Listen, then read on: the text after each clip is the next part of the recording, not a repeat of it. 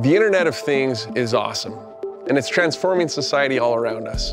In our homes, it's allowing us to have greater security while achieving energy efficiency and cost savings.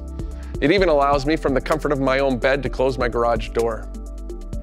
However, if we take a closer look at the Internet of Things, many manufacturers, in a rush to get their products to market, are bypassing the important step of security. They're taking shortcuts that are putting these devices that go into the field at risk. IoT devices have three common vulnerabilities that are inherent in almost every IoT device. The first one is authentication.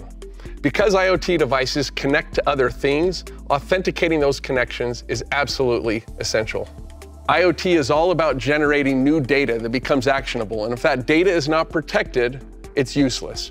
So confidentiality is the second common vulnerability in IoT devices. And finally, how do you know that that data that's being generated and collected by these devices can be, entrust, can be trusted? So integrity becomes the third common vulnerability amongst these devices. These three vulnerabilities can be seen in almost every IoT device.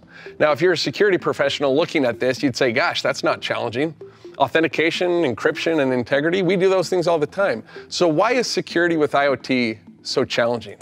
The answer really is quite simple. I believe it comes down to one word, and that's complexity.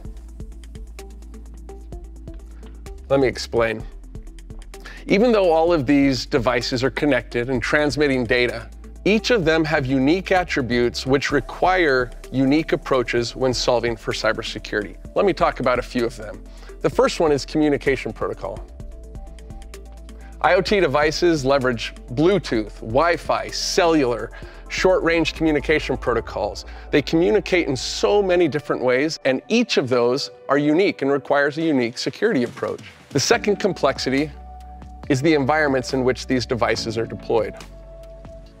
For example, satellite hovering in the atmosphere is a very different environment than a smart home. A hospital and the complexities of regulatory burdens and the networks that they have is very different from a small business.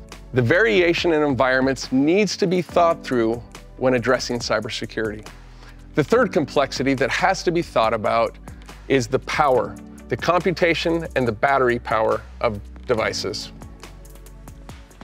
As you know, there is a ton of variation in this space. There are IoT devices that sit out in a farmer's field that monitor soil moisture. There are other devices that are connected to power sources and have large operating systems, where you can do very robust computations. That variation requires unique approaches for cybersecurity, and it adds to the complexity of solving the cybersecurity challenge. So as a security professional, how do you solve for these common vulnerabilities and the complexity we've talked about? I'll tell you what the answer isn't. It's not simplifying our approach. The answer comes down to flexibility. Flexibility is critical. Security professionals need to find security solutions that have the flexibility to address common vulnerabilities, but also the complexities that come part of the IoT. Now, fortunately, there is a security solution that brings this flexibility. It's known as public key infrastructure, or PKI. Public key infrastructure has been around for decades, securing the internet. It's a proven solution. It works. Public key infrastructure continues to evolve to make the encryption algorithms and the infrastructure around it secure. Public key infrastructure is flexible and it addresses the common vulnerabilities that we have discussed. Let me explain. Public key infrastructure uses digital certificates to facilitate security approaches like authentication. Certificates are placed on an endpoint device and on whatever it's connecting to to facilitate a mutual authentication. So it solves that challenge. Encryption certificates can also be used to make sure that the data that's being transmitted from device to wherever it's going is handled in a secure way. And finally, Signing certificates are used when data packages are sent. That could be a piece of firmware or any data that's being generated from the device. That digital signature ensures that the integrity of that data is intact and that the data can be trusted. On the complexity side, PKI is also incredibly flexible.